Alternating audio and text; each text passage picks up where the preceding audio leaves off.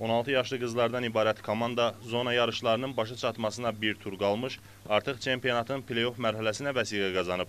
Hazırda futbolçular qrupda 3-cü yerdə qərarlaşıb. Yanvarın 24-də isə zəif cinsin nümayəndələri çempionatın son turunda İmişli komandası ilə ikinci yer uğrunda mübarizə aparacaq. İdmançılar həmin görüşdə qələbə qazanacağı təqdirdə Respublika çempionatına vəsiqəni təmin edəcəklər. Qeyd edək ki, AFA-nın təşkilatçılığı ilə Şimal-Qərb zonasında 8 komanda mübarizə aparır.